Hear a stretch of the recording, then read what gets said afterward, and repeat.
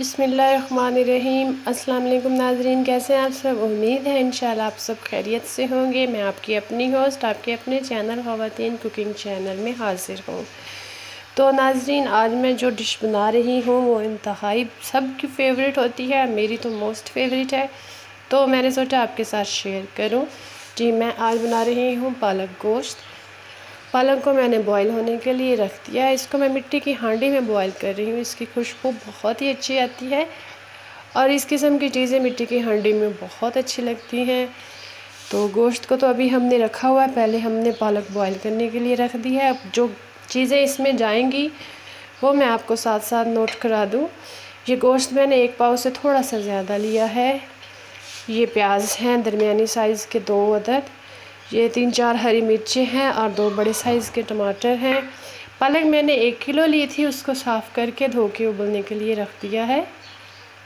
पालक को हम खुले पानी में बॉईल करेंगे। ये देखिए, इसमें जब बॉईल आ जाए तो हम इसमें डाल देंगे ये हरी मिर्चें। और मैं इसमें डालूँगी थोड़े से प्याज ताकि उनकी खुशबू प्याज की पालक में बस जाए। बिल्कुल थोड़े से डालेंगे हम बस खुशबू के लिए।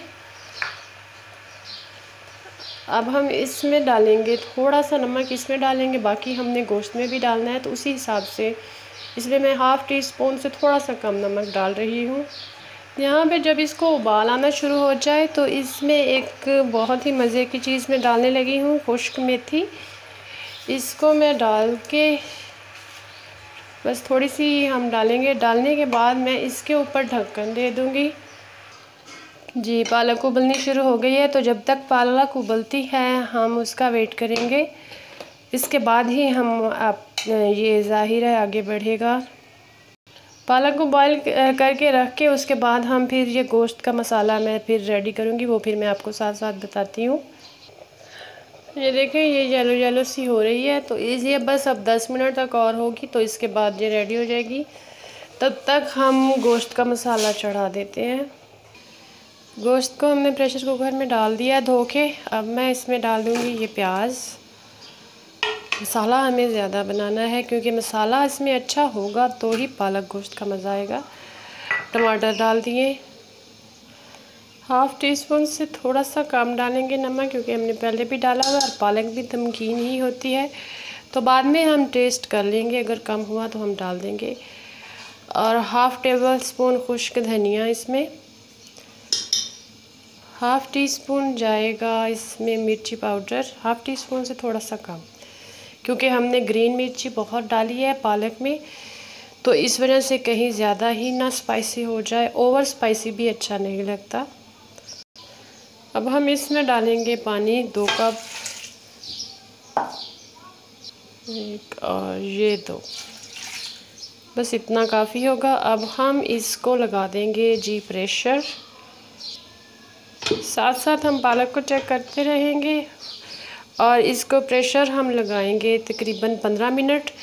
सीटी चलने के बाद पंद्रह मिनट। उसके बाद हम देखते हैं कि ये क्या शक्ल लेके आता है। पालक हमारी रेडी हो गई है। मैंने इसको चेक कर लिया, ये गल गई तो अब हम इसको उतार लेंगे। इसको हम ठंडा होने के लिए रख देंगे। प्रेशर हमने उतार दिया है तो गोश्त हमारा गल चुका है। अब इस मसाले को हम इसमें मैश करेंगे। यहाँ पे हम इसमें ऑयल डाल देंगे। ऑयल घी जो आप यूज़ करते हो, आप वो डाल सकते हो। तो मैं इसमें ऑयल डालने लगी हूँ। खाना बनाने के दो चम्मच इसमें मैं ऑयल डाल रही हूँ। यहाँ पे हम इसका मसाला चेक कर लेंगे मतलब रेड मिर्ची, नमक वगैरह, क्योंकि हमने पहले इसमें कम डाला था, अगर चेक कर लेते हैं। इसमें मिर्ची थोड़ी सी कम लगी है तो मैंने half teaspoon red powder और डाल दिया है रेड मिर्ची पाउडर अब मैं इसमें थोड़ी सी हल्दी डाल दूँगी।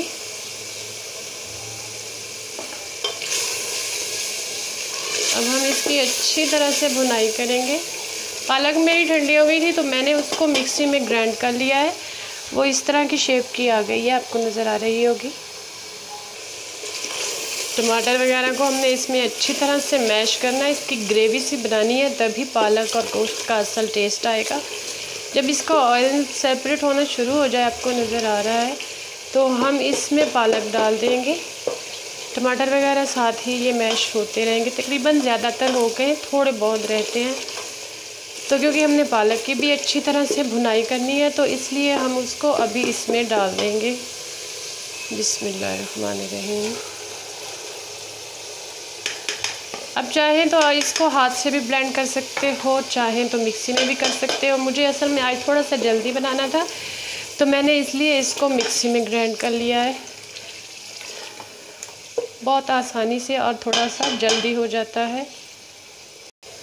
आँच को हमने फुल हाई नहीं रखना, इसको नॉर्मल रखना है।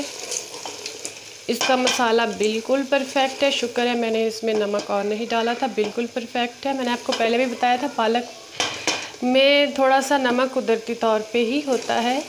तो जब भी हम पालक बनाएँ स्टार्ट में हम इसमें नमक कम ही डालें तो अच्छा होता है। बाद में टेस्ट करके हम बाद में ऐड कर सकते हैं।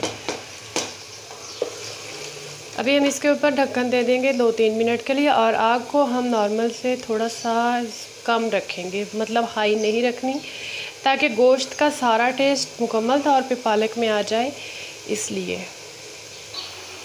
जी, ये देखें, ये तकरीबन भून चुकी है। साइडों से ऑयल सेपरेट हो रहा है, ज़्यादा भूनने से भी नीचे से लग जाएगा।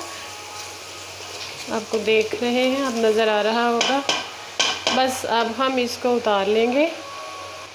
जी, ये देखें, हमारा पालक गोश्त बिल्कुल रेडी हो चुका है। माशाल्लाह, इसकी खुशबू तो बहुत आ रही है किचन में। और इसका जायका भी बहुत ही मज़े का बना है। तो आप इसको मेरी रेसिपी मेरे तरीके से बना के देखें। इन आपको बहुत पसंद आएगी और आप इसको अपने दोस्तों के साथ भी शेयर करें। मेरे रेसिपी को लाइक ज़रूर किया करें और कमेंट्स में ज़रूर बताइएगा कि आपको आज का मेरा ये पालक गोश्त बनाने का तरीका कैसा लगा। इन आपको पसंद आया होगा। तो नाजरीन, अगर आपने मेरे चैनल को अभी तक सब्सक्राइब नहीं किया तो प्लीज़ सब्सक्राइब करें।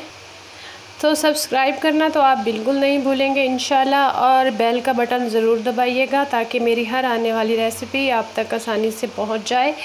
और कमेंट्स में ज़रूर बताइएगा, इसको अपने दोस्तों के साथ शेयर करें। इन एक और नई अच्छी रेसिपी के साथ फिर जल्द मिलते हैं। अपना ख्याल रखिए नाजरीन। अल्लाह हाफिज़।